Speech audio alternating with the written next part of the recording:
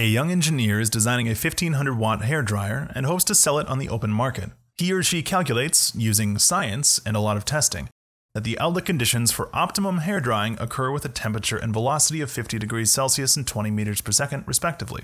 Any hotter or faster than that, despite doing a better job of drying, might cause the customer to burn themselves or their hair, which the legal department suggests is a bad thing. The engineer assumes that, under normal conditions, the ambient air will be about 22 degrees Celsius and 100 kilopascals. Because of the stagnant condition of the ambient air and the large size of the intake, the inlet velocity will be negligibly small. Additionally, the body of the hairdryer will be well insulated so as to avoid the whole burning the customer thing. Determine first the mass flow rate of the air through the device. That's how much mass flow rate this can process while consuming 1500 watts and accomplishing the change in kinetic energy and enthalpy required. Secondly, determine the volumetric flow rate at the outlet of the device. And thirdly, the diameter of the outlet, which would yield optimum hair drying conditions. So the first thing I'm going to do is draw an approximate diagram and indicate what I know.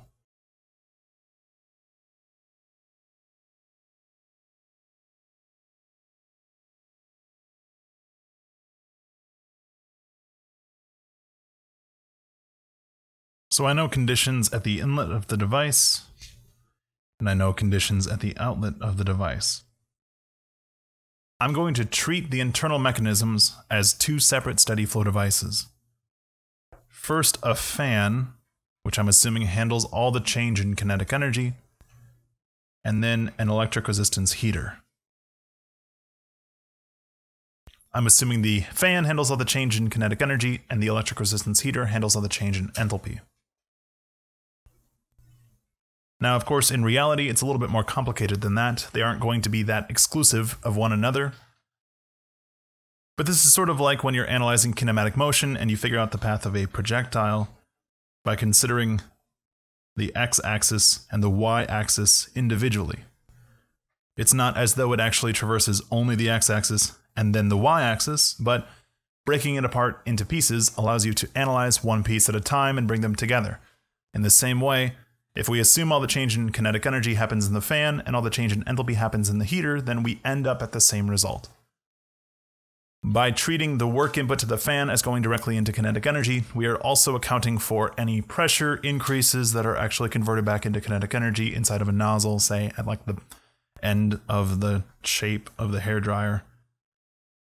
If we draw a control volume around the entire thing, it eventually becomes kinetic energy, regardless of which individual conversions happen within the internal mechanisms. Since we're assuming 100% operating efficiency, essentially, it doesn't matter how many conversions occur. Does that make sense? Excellent. So, since I have two steady flow devices here, I am going to indicate a state point between them.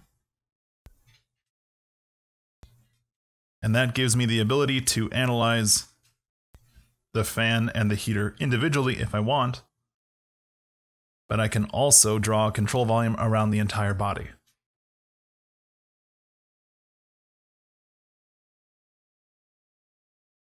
So I have electrical power input to the fan mechanism. And I have electrical power input to the heater. Now I know what you're thinking. You're thinking, but John, Surely the heater should be a heat transfer in, right?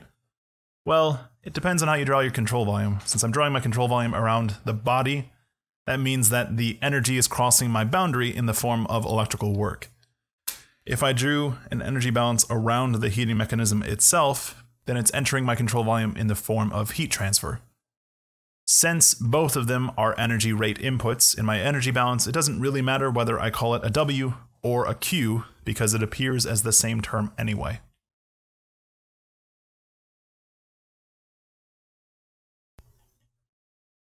then I know the power input of the fan and the power input of the heater have to sum together to 1500 watts.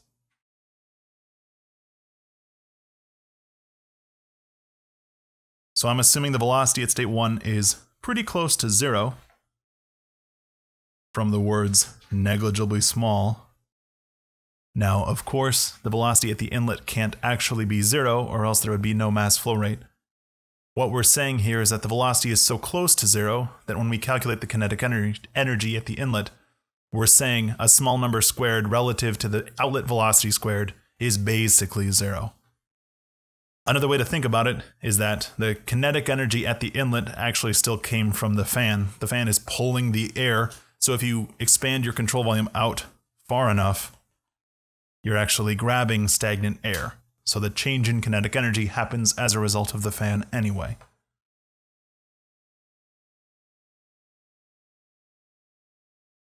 Next, we are assuming the temperature at the inlet is about ambient conditions, which we were told were 22 degrees Celsius, and that the pressure is about 100 kilopascals.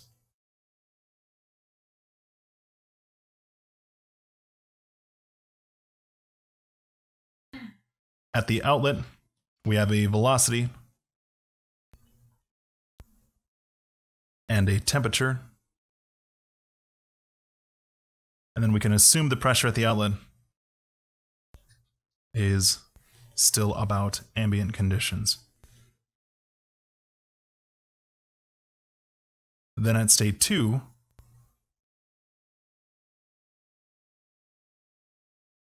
the temperature at state 2 is going to be assumed to be essentially T1 because we're assuming only kinetic energy is increased across the fan. We're assuming all the enthalpy increase happens across the heating element. Similarly, we're saying V2 is approximately equal to V3. Remember, state 2 doesn't really exist. It's the intersection of the y and x components of my projectile motion.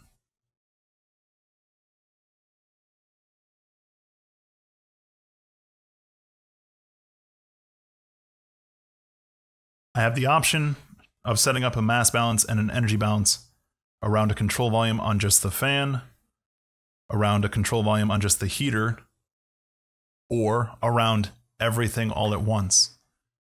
In the interests of really exploring the example problem to the best of our ability, why don't we try it both ways? So first we'll analyze the fan and the heater together, and then we'll analyze them individually. So I will call control volume control volume 1, just the fan, control volume 2, just the heater. And maybe I'll color code that to make it a little bit easier to see.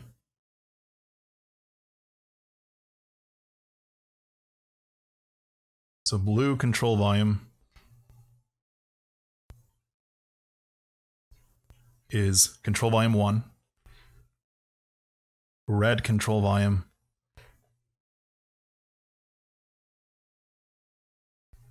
is control volume 2. And then green, maybe? Green control volume is the whole kit and caboodle.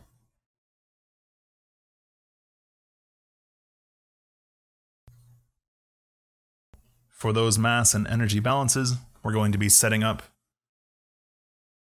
a simplification that looks pretty consistent. So let's just talk through our assumptions one time.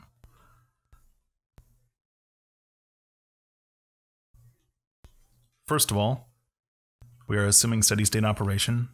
The fan has been running long enough to reach steady state. It's not as though we are analyzing the hairdryer being turned on initially.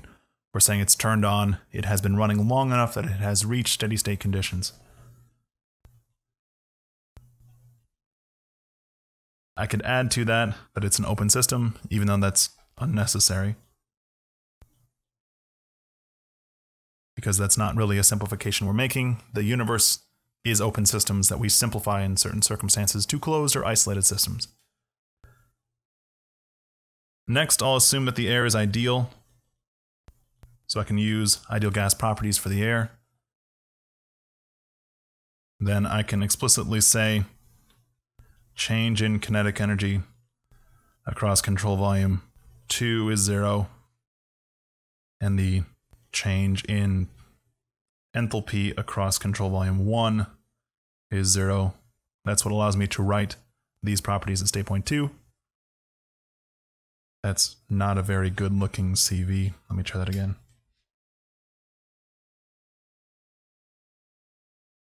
I'm going to assume the changes in potential energy are zero, regardless of how you look at it. And then I will also explicitly assume that there is no power output and that the device is adiabatic. The assumption of adiabatic comes from the phrase well insulated. I was told that the hair dryer was well insulated, which means I'm neglecting any heat transfer through the body of the hair dryer. So, with that set of assumptions in place, I can start my control volume analyses. So, I will set up three parallel mass balances and energy balances one on control volume 1, one on control volume 2, one on control volume 3. Beginning with control volume 3, for no reason in particular other than that's what I had said first. I have a mass balance and an energy balance. The mass balance starts with change in mass of control volume 3 is equal to the mass entering minus the mass exiting. The energy balance similarly begins with delta E on control volume 3 is equal to energy entering minus energy exiting. Because I have steady state operation, it's going to be most convenient for me to divide everything by dt, or rather derivate everything with respect to time, at which point I have dm dt is equal to m dot in minus m dot out. The dt is zero because it's steady state. And nothing can change with respect to time, including the mass of the control volume. Similarly, on the energy balance, I will divide everything by dt, which again is really just derivating with respect to time, at which point I have dE dt, which is zero. Again, that's the energy of the control volume and that's 0 because of assumption number 1, is equal to E dot in minus E dot out.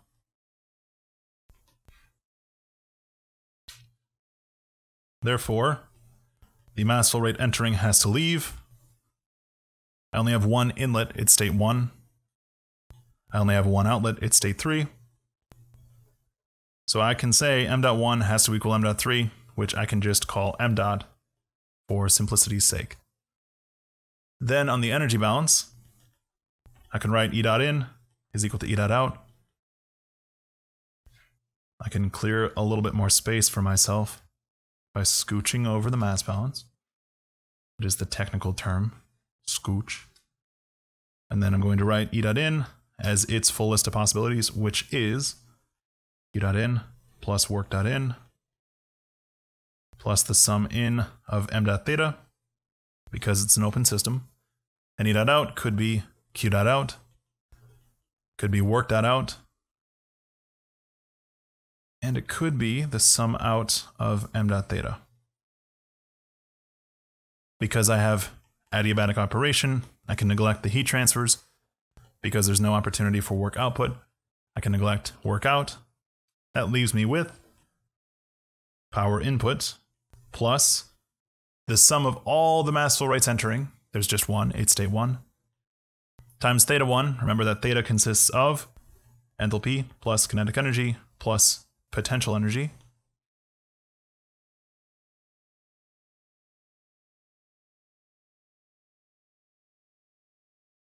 On the exit side, I have the sum of all the mass flow rates exiting, of which there is one, it is state point 3, times theta 3, theta is enthalpy plus specific kinetic energy, plus specific potential energy.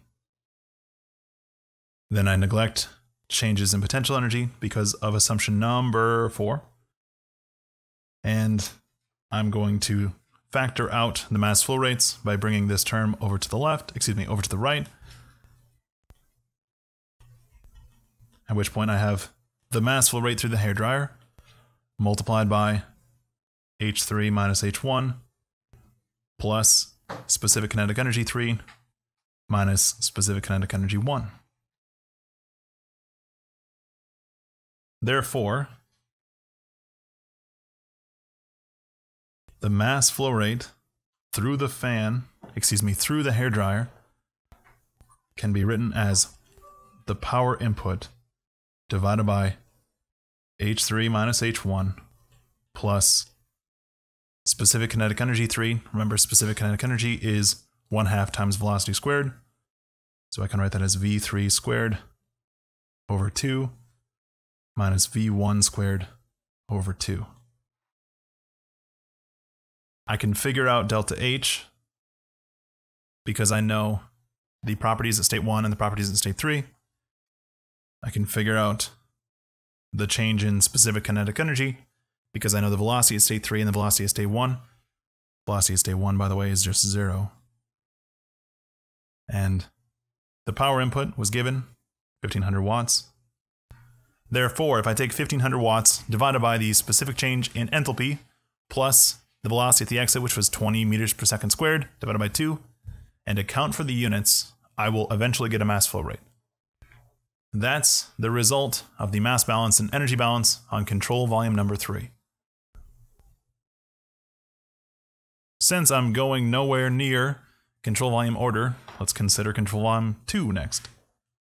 Control volume 2 was red.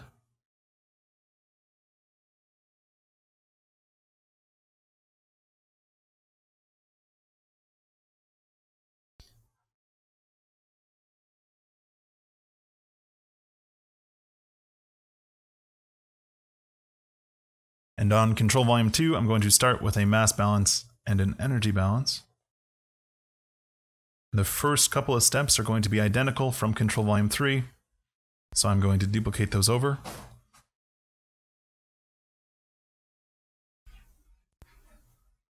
And in fact, while I'm at it, I will duplicate those over to control volume 1 as well.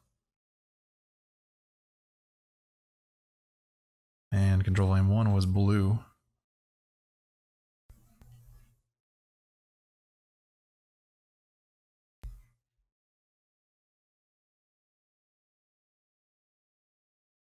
Then I can go through and change all the subscripts.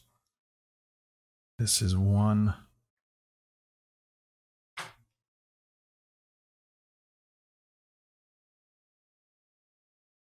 This is two. That was. This is TOO, not this is TWO. This is one also. This one, however, is two TWO. And this one is two.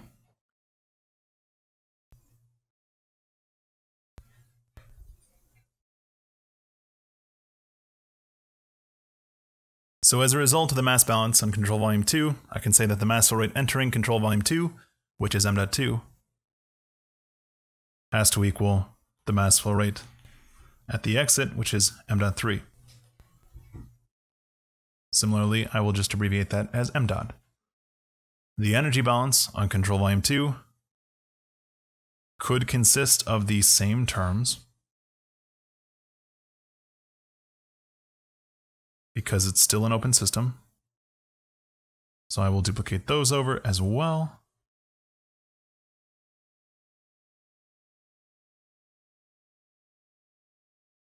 The only difference being that when I'm considering just the heating element, I don't have to account for any changes in kinetic energy. Furthermore, to clarify a little bit, I will call this power input term the power into the heater.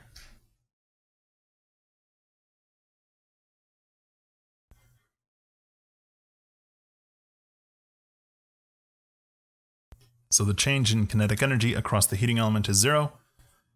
Therefore, the power into the heating element itself is going to be m dot 3 times h3 minus m dot 2 times h2 because it's the same mass flow rate. I can factor out the mass flow rate and write that as m dot times h3 minus h2. Two control volumes down, one more to go. The mass balance on control volume 1 has one inlet, it is state point 1. It has one outlet, it is state point 2. Therefore, I can write m dot 1 is equal to m dot 2. It's the same mass flow rate, which I can abbreviate m dot. For the energy balance on control volume 1, I can write that in much the same way, except this time I don't have any changes in enthalpy, because I'm assuming all of that happens in the heater.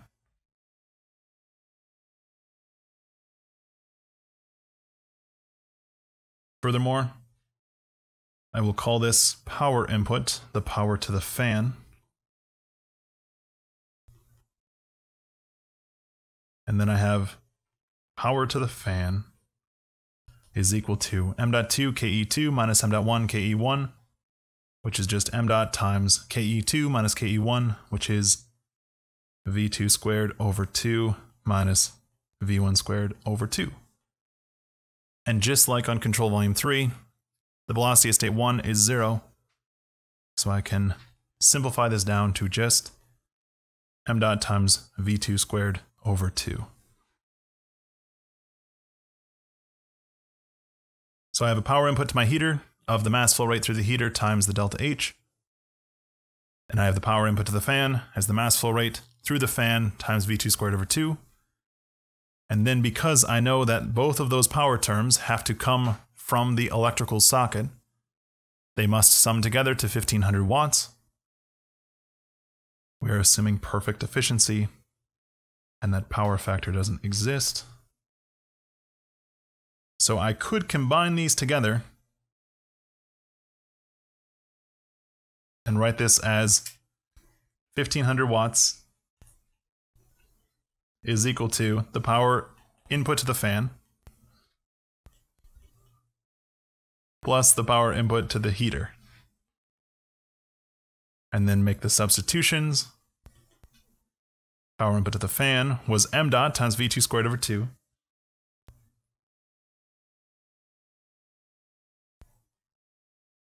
Power input to the heater was m dot times h3 minus h2.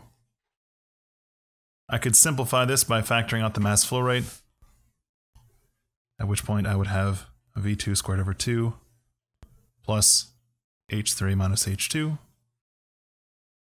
And then if I wanted to simplify it all the way down to parameters that I was given directly, I could recognize that v2 is the same as v3 and write this as v3 squared over 2 and that h2 is equal to h1. Therefore, this would be h3 minus h1. And look, we have the same equation. If I solve this for the mass flow rate, I would have mass flow rate times, excuse me, mass flow rate equal to 1500 watts divided by V3 squared over 2 plus H3 minus H1. Look, it's the same. How neat is that? I think it's pretty neat. So regardless of which method we use to approach the problem, we end up at the same result. And I think that we have effectively stalled as much as possible. Now we actually have to start doing math.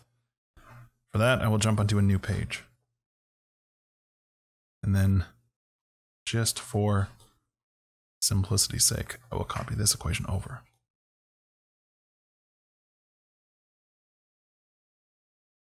So, on page 2, I can actually get to calculating things.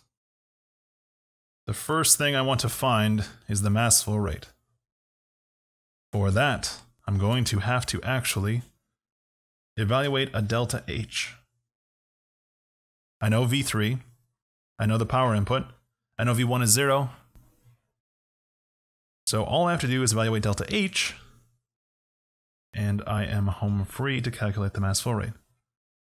For my evaluation of delta H, remember that I have three options. The first option is to look up the H's in my property tables and subtract them directly. The second option would be to determine how the specific heat capacity of air changes as a function of temperature and evaluate it by using the definition for Cp, which is dH dt for ideal gases. Remember that when we're talking about changes in enthalpy of an ideal gas, it is Cp dt, because that's defined with respect to enthalpy. It has nothing to do with the pressure being constant or not constant. H goes to P, U goes with V. du dt is Cv. Harry Potter, ultraviolet. If I knew how Cp varied as a function of temperature for air, I could evaluate that integral, and I could make it even easier by assuming it didn't change. In that case, when I write dH is equal to Cp dt and I integrate both sides, and I get delta H on the left, if I assume Cp is constant, it comes out of the integral, and I'm left with Cp times delta T. That's even easier. So, option one look up h's and subtract them. Option two, I try to be a little bit organized about this. Option two, I guess that's actually H3, not H2. Option two would be to look up Cp as a function of t and integrate.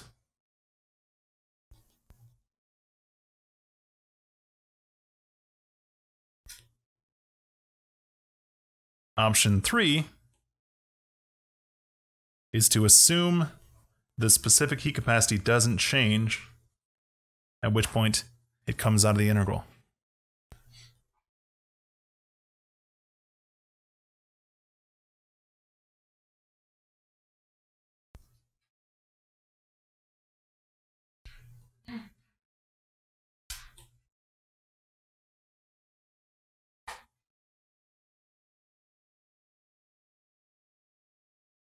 So those are the options that I could do. The real question is what I should do. Option one would yield the best answer under these circumstances. Option two would yield a pretty good answer. Option three would yield a worse answer. But I recognize that I have an ideal gas. I'm making a lot of simplifications for this problem, like, for example, assuming that there's no heat loss and that all the energy conversion happens perfectly those simplifications end up with uncertainty in our answer that is much, much bigger than the difference between any of these options. As a result, I might as well use the fastest one, which is option 3. But in the interest of character building, and since we have effectively infinite time on the internet, let's do all three, shall we? Yeah, I think that sounds like fun. So for option 1, I want to look up H1 and H3 using my property tables. For that, I recognize that I actually have ideal gas properties of air on table A22. So I will jump over to table A22. And I can look up the enthalpy for a given temperature. Remember that for ideal gases, U and H are only functions of temperature. So H1 will be the enthalpy of air at T1.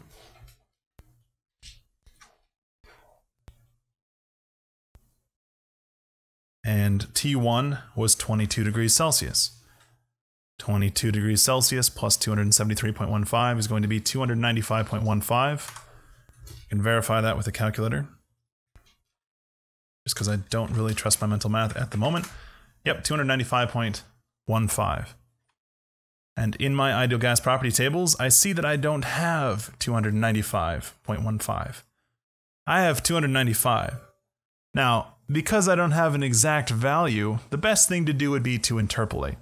Now, eh, 295.15 is like close enough to 295 to probably be okay with using 295. But, you know, I think in the interest of character building, we should actually evaluate that interpolation.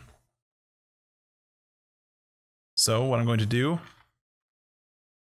is take 295.15 minus 295. I'm going to divide that by 300 minus 295, and that's equal to the enthalpy at 295.15, which is what we're looking for, minus the enthalpy at 295, which is 295.17, divided by the enthalpy at 300, which is 300.19, minus the enthalpy at 295, which is 295.17. And we're looking for x, and we get 295.321. So H1 is about 295.321.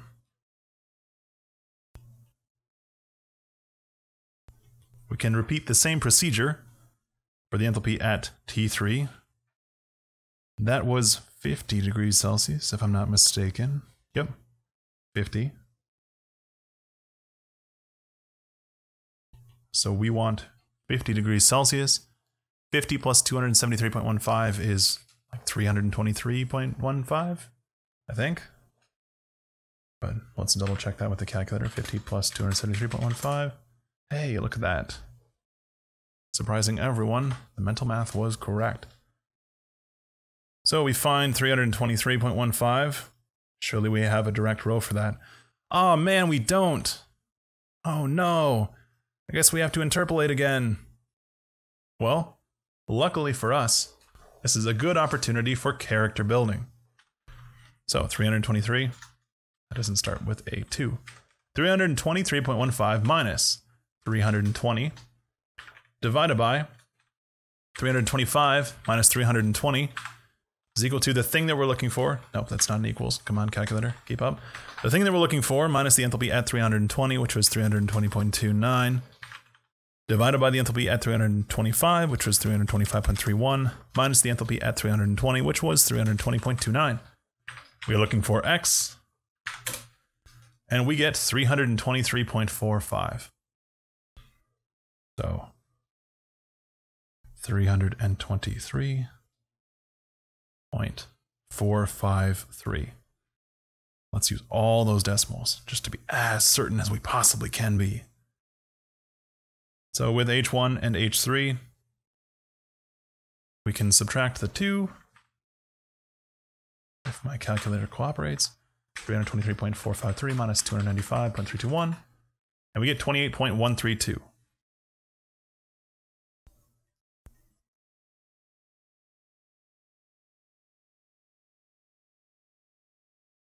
So our delta H using option 1 came out to be 28.132.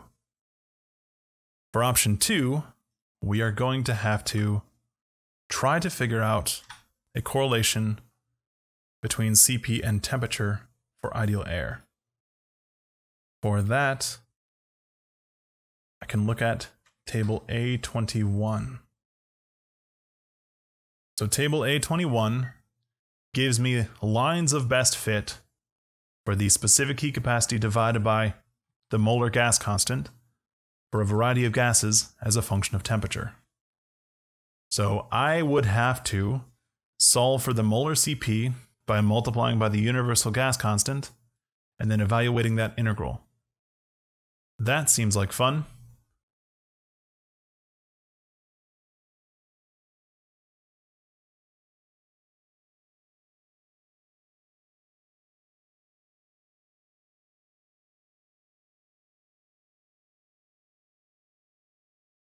So assuming that I remembered to go in and speed that up, you guys can see that I just copied over the constants, these coefficients for air. Remember that these are not actually the constants. The value given in the table is beta times 10 to the third. So in order to write beta in our equation, we actually have to write 1.337 times 10 to the negative third. Likewise for gamma, instead of writing 3.294, we write 3.294 times 10 to the negative sixth. So with this fourth order polynomial, I get an approximate function for Cp of air as a function of temperature. We can integrate that in order to plug that into our delta H. But for that integral, I would yield the molar specific heat capacity, which means that I would get the molar specific enthalpy. So in order to actually write the mass specific heat capacity, I have to take the molar specific heat capacity and divide it by the molar mass of air. Which means that I'm actually going to be taking the universal gas constant, 8.314, divided by the molar mass for air, which I can get from table A1. On table A1, I see that it's 28.97 and then I'm multiplying that by this function to get the mass specific heat capacity. So when I do that integral, I can bring out the molar specific gas constant and the mass constant for air, and I will get out a delta H term. Excited? I'm excited. Let's do some calculus. And by we, I of course mean, let's make my calculator do some calculus for us. So if I pop up my calculator and I write out front, I have, come on, calculator, parentheses, you can do it.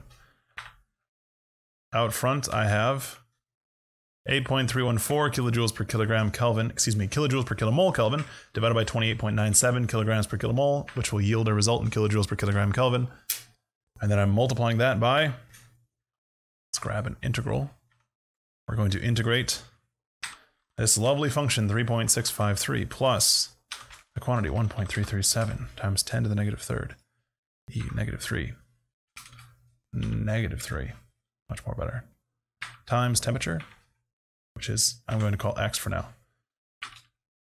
x, there we go, much more better, plus 3.294, 3.294, e, negative sign, not minus, times x squared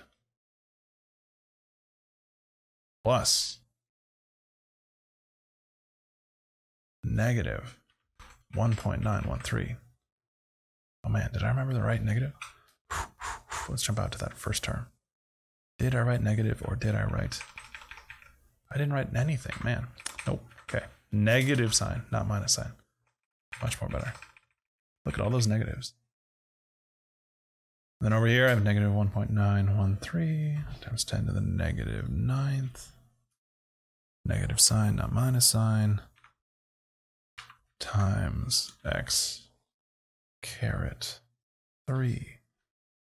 Beautiful. Plus 0.2763 e to the negative sign 12 time x to the fourth That's my entire function.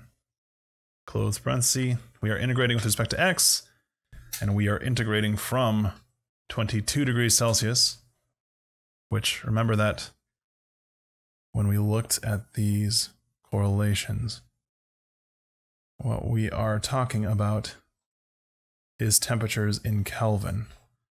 So even though it doesn't really matter when we're talking about linear temperature differences, it might matter in the exponentials here, so I will write that as 22 plus 273.15, and then 50 plus 273.15, and we get nothing. Cool.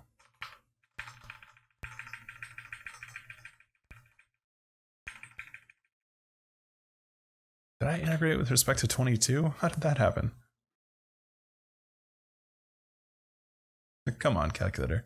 I don't want to integrate with respect to 22. I want to integrate with respect to x. Much more better. Okay.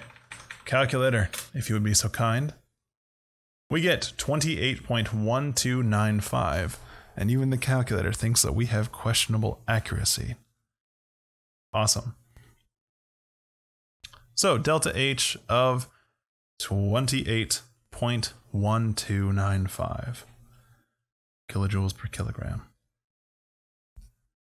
Now, option two is a lot of work. It's actually more work than option one, and it's less accurate because it's using a line of best fit. I don't think that option two is really ever useful when we're talking about ideal gas properties of air. If we actually want to be accurate, we will use the actual enthalpies. If we are approximating, we will assume the specific heat capacity is constant. Option two is trying to be unnecessarily precise with an approximate method and I don't think it's worth our time to even try. So, on an exam, with me at least, I will never ask you to compute a delta H or a delta U using option 2. But if you're curious about how that would work, now we've done it. Okay. Now for option 3, we're assuming CP is constant. And we are going to look up the CP value for air on table A22. No, on table A20. For air at a halfway point between 22 and 50. Let's see, halfway between 22 and 50 is going to be like 37. Here, let's let the calculator do the math.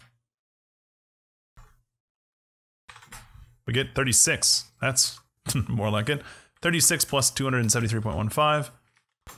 The halfway point between 20 and 50 is going to be 309.15. Therefore, we should be using a CP value of air at 309.15. Now, you could probably make an argument for the fact that we're approximating anyway. We might as well just grab 300 instead of 309.15, but unnecessary precision is the name of the game at the moment. I can evaluate an interpolation here by writing 309.15 minus 300 divided by 350 minus 300 is equal to the thing that we're looking for minus the value at 300, which is 1.005, divided by the value at 350, which is 1.008, minus the value at 300, which is 1.005, and we get we we get 1.00555.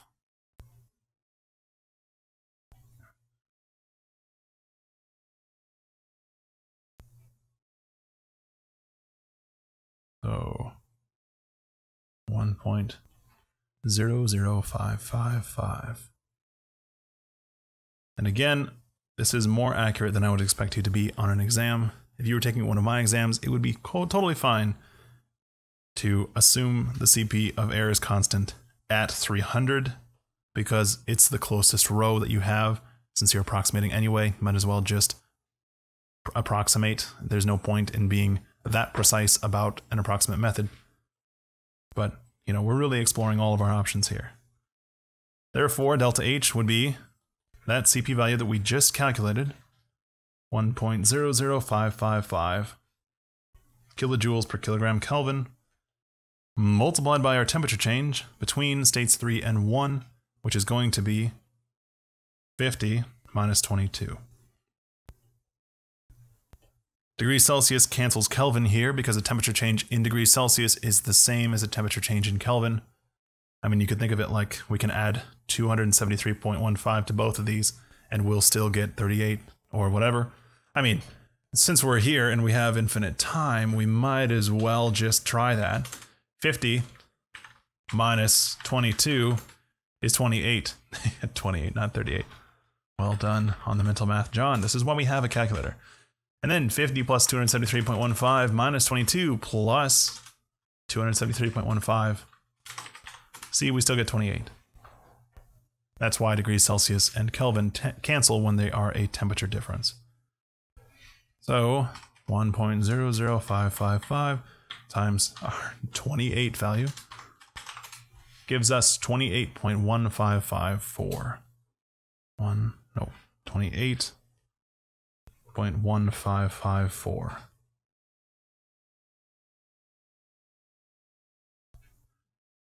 So being real extra accurate yielded a delta H of 28.132.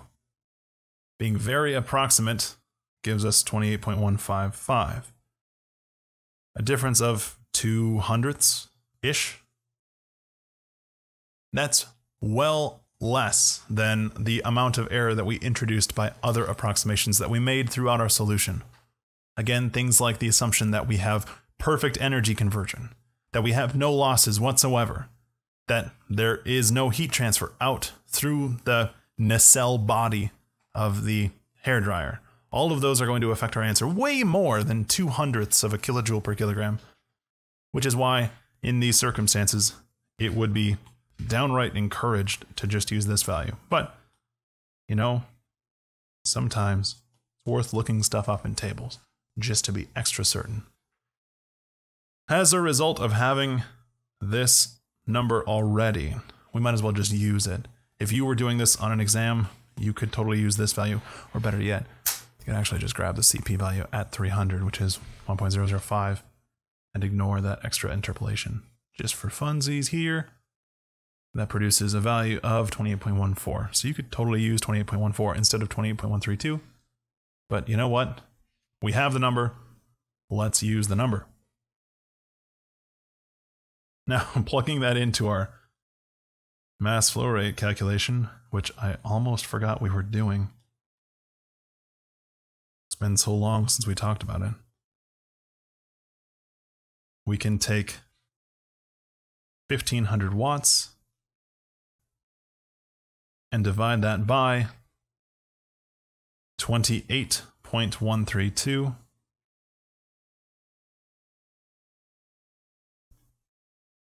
plus the velocity at state 3, which was 20 meters per second. Yes. 20 meters per second. I'm going to square that and divide by 2, so I'm going to write 20 squared meters squared per second squared divided by 2. Then I recognize that I need to add that to kilojoules per kilogram. Therefore, I'm going to want to convert from meters squared per second squared to kilojoules per kilogram. To do that, I'm going to start with kilojoules and work backwards. A kilojoule is a thousand joules. A joule is a newton times a meter. And a newton is a kilogram meter per second squared. Newton cancels Newton, joules cancels joules, kilograms cancels nothing. Meters and meters cancels square meters, second squared cancels second squared, leaving me with kilojoules per kilogram. So therefore, if I take 28.132 plus 20 squared divided by 2000, I will get the denominator of this calculation. Generally speaking, I am a proponent of doing arithmetic as few times as possible, so I would probably continue to do the unit conversions after this resulting sum, but just to make it a little bit easier to follow, let's do it as two separate steps. So I'm going to calculate just the denominator first. 28.132 plus 20 squared, 20 caret 2 divided by 2000. And we get 28.332.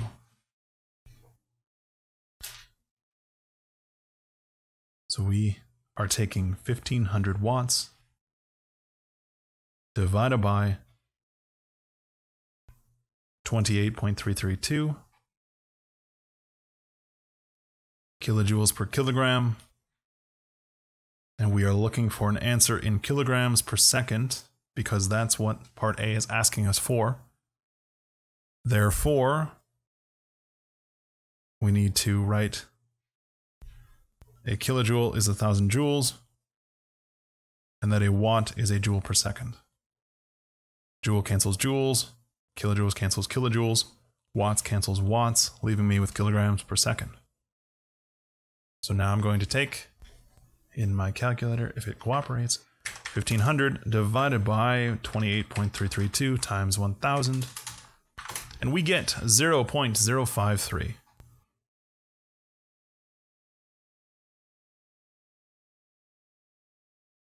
Look at that. Part A done. Now, part B asks for the volumetric flow rate at the outlet of the device. For the volumetric flow rate, we are going to involve the mass flow rate that we just calculated and a density term. Mass flow rate can be expressed as density times volumetric flow rate. So because we're looking for volumetric flow rate, we can take mass flow rate and divided by density. You could also think of that as taking mass flow rate times specific volume, because specific volume and density are reciprocals of one another. The density is going to come from our ideal gas law. PV is equal to MRT. Remember, this is the mass specific gas constant, which is the universal gas constant divided by the molar mass. So I can write density, which is mass divided by volume, is equal to pressure divided by gas constant times temperature. And then, in the interest of doing arithmetic as few times as possible, I'm going to make all of these substitutions symbolically. Specific gas constant for air is equal to universal gas constant divided by the molar mass of air Universal gas constant comes from the inside of the front cover of our textbook. and is 8.314 kilojoules per kilomole Kelvin. And the molar mass of air comes from table A1, which is 28.97 kilograms, excuse me, 28.97 kilograms per kilomole.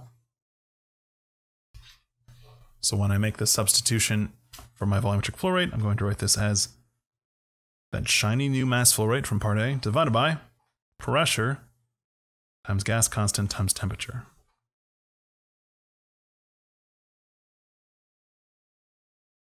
So I had, what was that, 0. 0.052944, you know, just to be arbitrarily precise,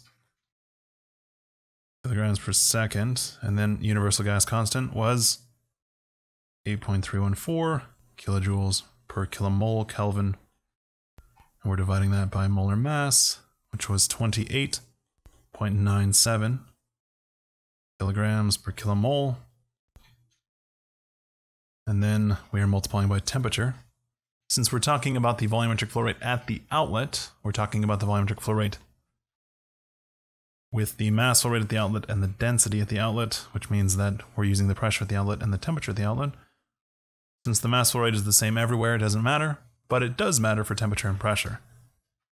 The temperature at the outlet was 50 degrees Celsius, I'm pretty sure. Yeah. And then the inlet temperature was 22. The outlet pressure and the inlet pressure are both 100 kilopascals.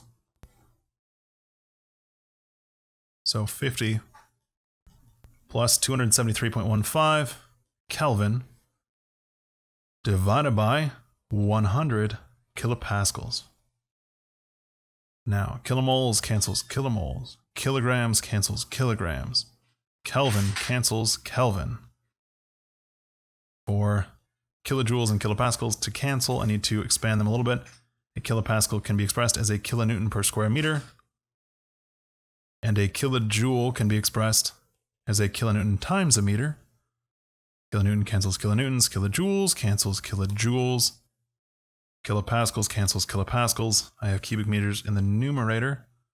I have seconds in the denominator, which is a volumetric flow rate. But remember, the problem wants an answer in CFM, which is cubic feet per minute.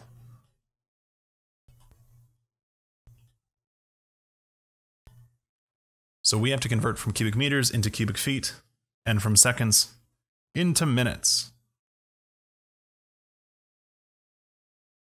So first, I can find the conversion for length. One meter is 3.2808 feet. So I will write one meter, 3.2808 feet. And then I will cube everything. One cubed is one.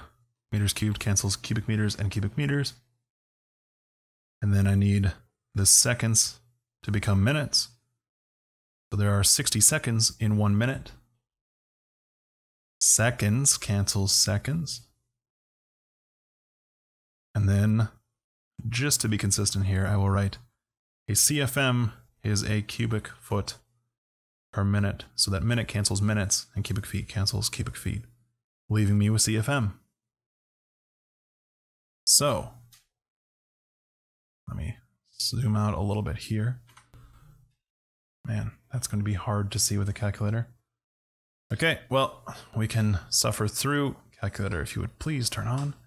We have 0.052944 times 8.3. That's 8.314. Multiplied by 50 plus 273.15. Multiplied by 3.2808 cubed. Multiplied by 60 and we are taking that entire numerator and dividing it by to 8.97 multiplied by 100 multiplied by 1 cubed, which is 1. And I get 104.033. Now, where to write that? I do a little bit of cleaning here. Scooch this up. Again, technical term. Then I can write the volumetric flow rate at the outlet. I can write the volumetric flow rate at the outlet is 104.033.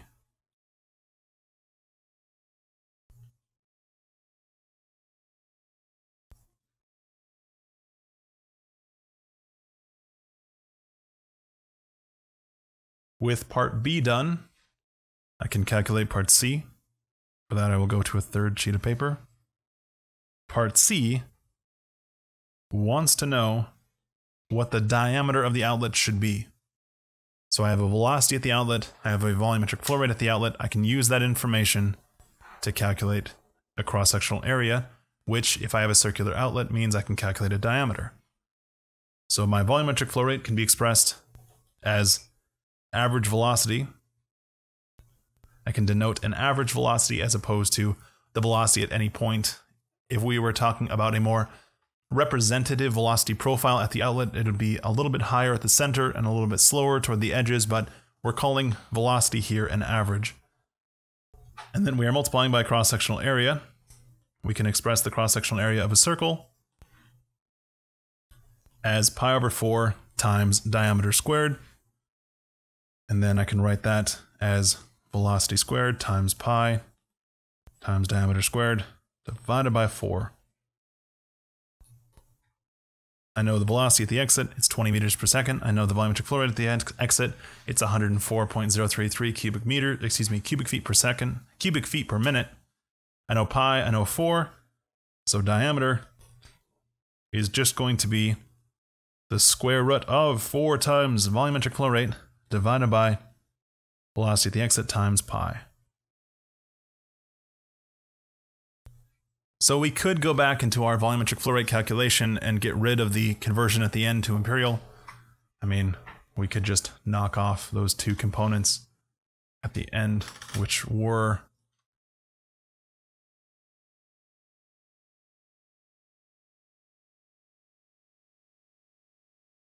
Three point two eight oh eight cubed and sixty. Or we could handle that unit conversion backwards.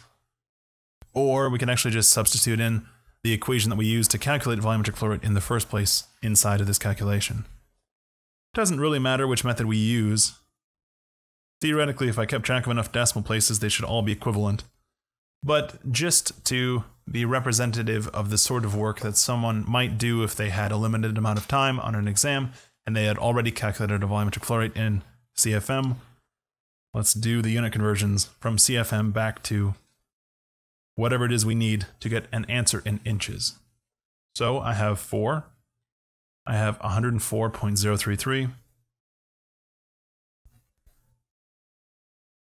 That was 104.033, John. 3, 3, and then with that I can put my calculator away for a moment. And that was cubic feet per minute. Then I'm dividing by the velocity of the exit, which was 20 meters per second. I'm going to go double check that.